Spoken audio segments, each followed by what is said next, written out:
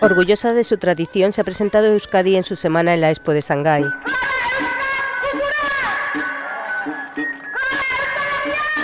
Allí ha acudido el endacari Pachi López, que ha sido saludado con el tradicional aurrescu.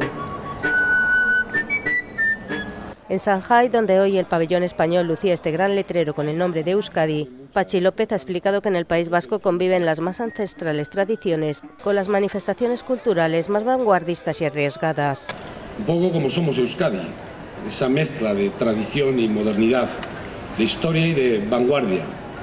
Y venimos aquí a demostrar ese dinamismo que hunde las raíces en nuestras tradiciones, en nuestra historia, pero que tiene su potencia y su potencialidad en la modernidad y en la vanguardia que también eh, somos.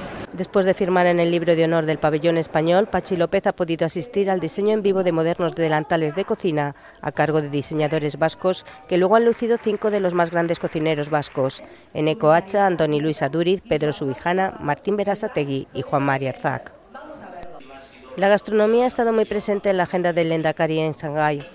Pachi López ha acabado la jornada asistiendo en un hotel a una cena elaborada por esos cinco grandes cocineros vascos que suman 15 estrellas de la prestigiosa guía Michelin. También ha podido degustar un vino centenario a la vez, servido con láminas de oro comestibles.